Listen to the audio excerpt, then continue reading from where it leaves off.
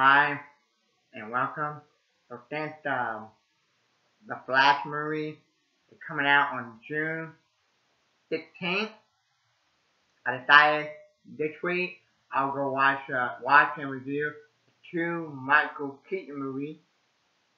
Okay, so um, I'm gonna take a break, uh, a short break, uh, of, of watching my Harrison Ford movie that I have on DVD.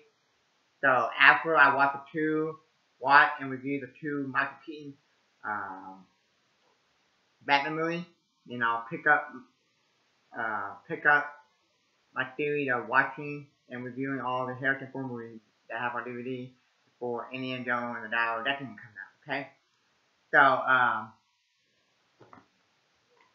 so I'm going to review first Michael Keaton Batman movie that, that he made that was directed by Tim Burton. Okay, um, and then and then that day or so I'll watch Batman Returns. Okay.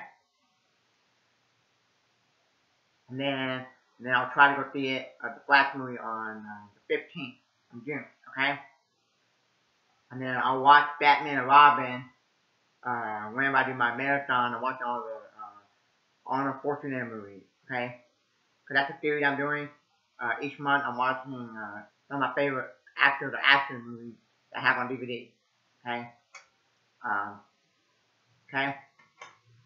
So, so I have uh, two Michael Keaton Batman movies in it in it for uh, uh, 80 Bat um no uh, 90 Batman collection. Okay, you might have seen that or have it growing up or okay bought it at Walmart whatever.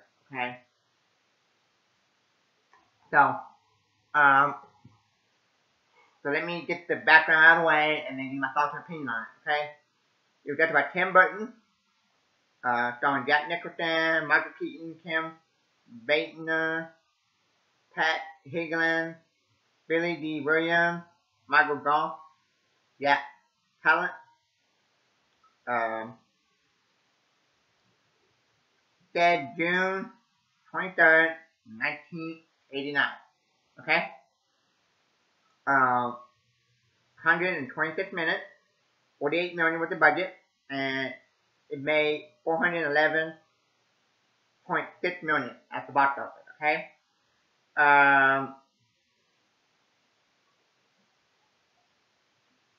Well, I didn't know that. It said numerous leading men were considering for the role of Batman before Keaton was cast.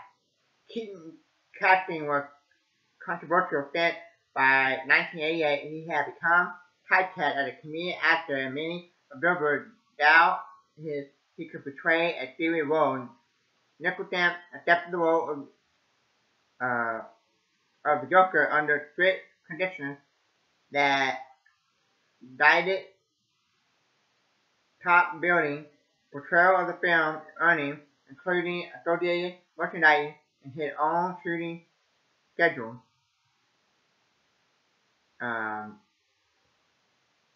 okay, I, I didn't know that, okay? Um, um, film uh, several Saturn Award nominations and Global Award nomination for Nicholson performance and won the Academy Award for Best Art Direction and also led to the development of equal successful Batman the Animated Series 1992 to 1995 where the time began the DC animated universe of spin-off media and had influenced Hollywood modern marketing and developed technique of the superhero film genre. The film was followed by three sequels, Batman Returns, 1992, both Burton and Keaton Return, Batman Forever, 1995, with featured Val Kilmer the lead role, and Batman and Robin, 1997, uh, with feature George Clooney in the role. Okay. Um. Okay. Um. So I I didn't know that. Okay. Um. So uh, I can sit here all day, read stuff about it, people opinion, but y'all probably don't want me hit, hit, uh, do that. Y'all want to hear my opinion, okay? Uh, I didn't grow up with the movie, uh, you know, back in the 90s or anything. Uh, I didn't see it in theaters. If I did, I would be a lot older, okay? Um, I watch it every once in a while. I watch it every once in a while, here and there, growing up, okay? Like, like you know, I would say, I think maybe uh, sometime I saw it on TV, sometime um, uh, I saw it, uh, you know, uh, when I it on on on on my DVD player, okay? Um, okay. Um, growing up, last five ten years, I, I heard that. Um, who the other one? Um, Christian Bale was the Bat Batman actor. Okay, to be honest, I don't like him about Batman. Okay, I'm not a fan of him. Okay, uh, uh, I can still watch. I can still watch the Batman or Christopher Nolan Batman movie trilogy, or, or they call it the Dark Knight trilogy. Get entertainment out of it, but but not a fan of Christian Bale. Okay, still like him as an actor, but not a fan of him as Batman. Okay, reason why I don't like him as Batman is because um, it's because uh, where's the Joker? You know his deep voice. Okay, um, I, I, like I like I like the uh, Alfred in the in, in the Dark Knight trilogy. Okay, uh, my favorite Christian Bale, uh, my favorite Christian Bale movie I think outside the Dark Knight trilogy is uh, this movie with Hugh Jackman. Okay, so I highly recommend watching this movie. Okay, and also got uh, uh, got the Alfred from uh, the Dark Knight trilogy. Okay. Um, what else? Um, yeah, and um, okay. Um,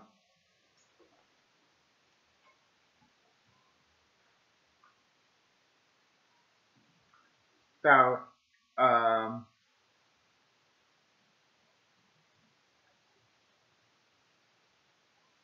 give me a second. Um, Rotten Tomato gave it a 74%, okay? The audience, 84, okay? Um, okay, uh,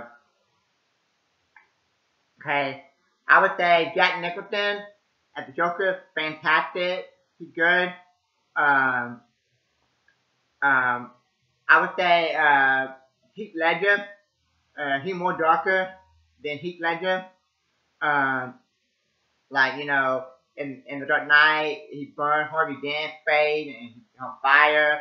He well, he hit the guy with a pencil, That's something like John Wick would do. You know, stab a guy with a pencil. Okay. Um, that Nicholson and Joker, he kind of dark with violent, but there's some comedic moment where like he like dancing. Okay. Um. So um, I, I guess the critics don't like that. Okay? Um,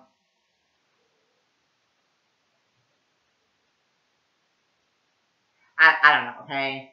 Uh, some people might say it's outdated. Uh, I imagine a lot of people are going to say this, this is their favorite Batman movie. Or even their favorite movie because they got a lot of nostalgia for it. They grew up with it in the 90s, watching it, or even saw it in theaters. I can understand that, okay? Um, I would say it's a, it is a classic movie, okay? Let's see what some other movie came out in the uh, in the um, um, 89.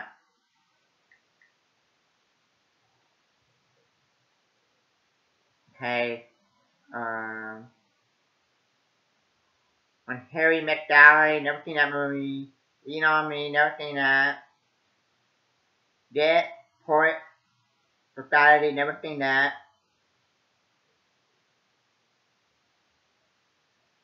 Um, Ghostbusters 2, yeah, catching that. Back to the Future, okay, like that movie. Um, Indiana Jones, The Last Crusade, like that. Uh, the Little Mermaid, So I would say some some of the best movies or the more popular, like The Little Mermaid, or Indiana Jones: The Last Crusade, Back to the Future, Ghostbusters 2. Okay, and those are some of the ones that I think I think are like still popular. Okay. Um. Now, um. Uh, to me, uh, I would say this is more like an origin story of Joker. Uh, it do show a little bit, little, little bit of an of an origin story of uh, Batman, but not that much. They mention like his parents died and stuff.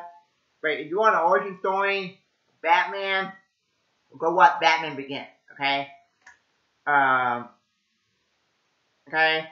Uh, this is like mainly, mainly, um, uh, an origin story of Joker. Cause like you're watching it and you're watching it, you're watching it, and you're like, where's the Joker? And you're like, oh, uh, his face gets burned or whatever in a chemical, and then he get reborn as the Joker. Ha ha ha ha! And making everyone on TV laugh with chemical, laughing gas or whatever. Um, Vicki Vale, played by Kim Basinger. Um, she always looked familiar whenever I think, uh, uh, her in this movie or another movie. I'm like, uh, she looked familiar. The only other movie I've seen her in, uh, Never Say Never Again. Okay, she was a Bond girl, but it, was it was a, a official, unofficial Bond film. Okay, not in the it, it, like Arthur McCann Bond movie.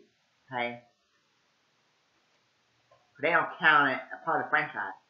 Okay, if they did, uh, then um, No Time to Die would be number 26 and 25, okay? And then when you when you buy the uh, box set, uh, it don't come with that, okay? So you're made by a different company instead of uh, what MGM. Uh,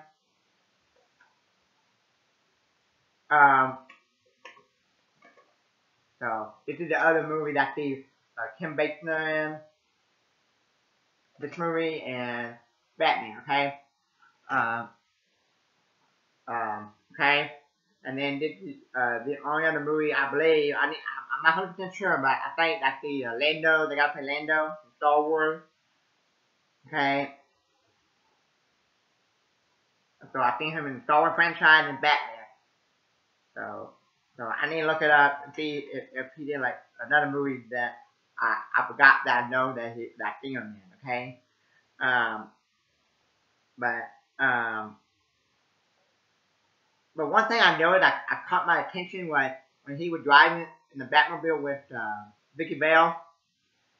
He didn't he didn't try to uh, you know spray some uh, uh, bat gas on her and make her go sleep or put stuff over her eye.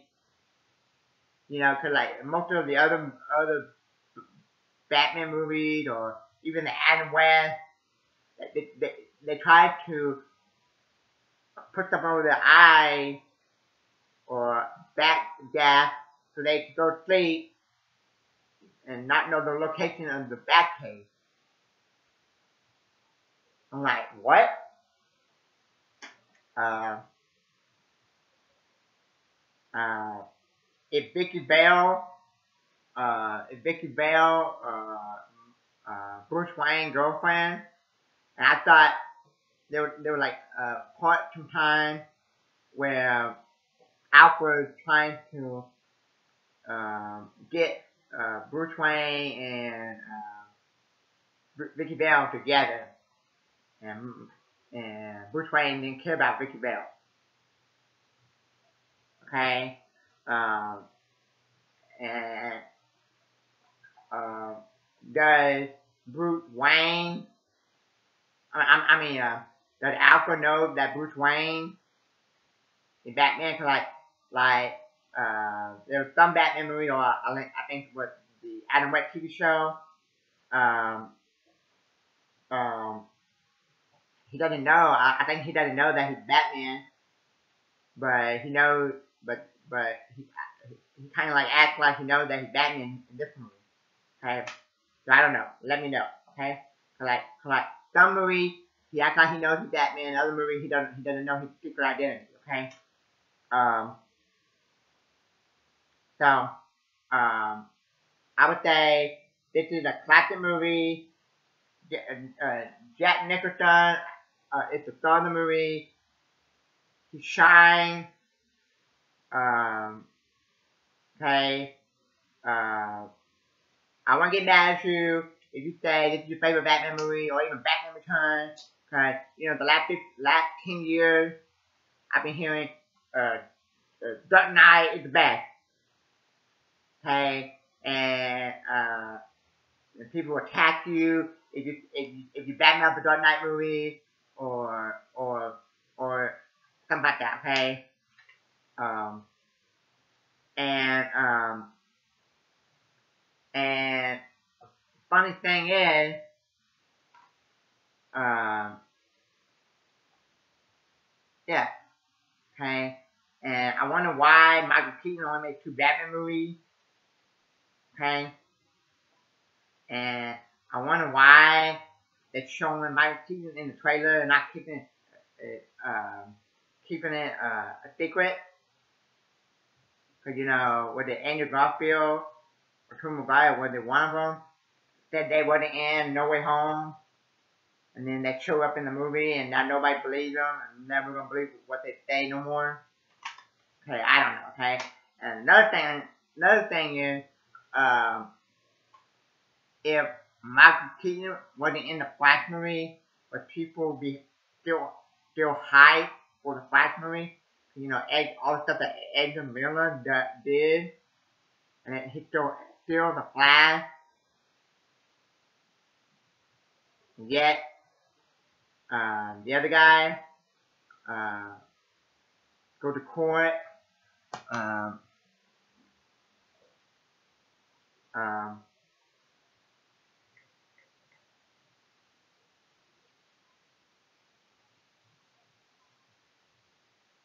uh, Jonathan Majors.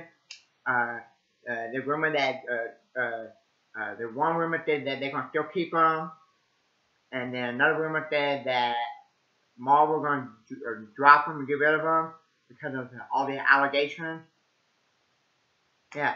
So, um, so my final question is, would would people still be high for the Flash movie if if Michael Keaton wasn't in it. Okay? Like, you know, all the nostalgia. Uh, people like running back and going back and uh, watching Batman 1989 and Batman Returns with Michael Keaton. Okay? I think Michael Keaton even did a good job uh, with Spider-Man Homecoming and uh, The Vulture. And that was my favorite part about the movie. Because he was fantastic at the Vulture. Okay? Uh, so, uh, yeah, um, and I was shocked when I looked on my tomato and that low. Okay? Uh, there's some other, there's some other, uh, book movies that, I, that, that Rotten Tomato gave a high score. I'm like, no, that book movie tonight got a high score. And Batman 1989 she got a higher score no comic book movie. Okay? So this is a Rotten Tomato score that I do not agree with. Okay? Um, I would at least give it like maybe an 85 or something on Rotten Tomato, like a B plus or an A. It's a classic. Um, one of one of the better Batman movies. Okay. Okay. So yeah. Um, so, uh,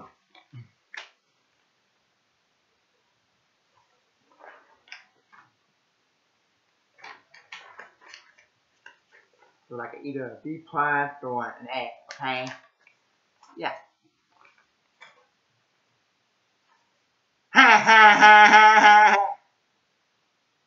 Thank y'all for watching. And then in a day or two, I'll go watch Batman Returns, give my opinion on it, and then I'll tell you which um, Michael Keaton Batman movie I like better. Okay? Uh, uh, thank you for watching. Until next time. Thanks.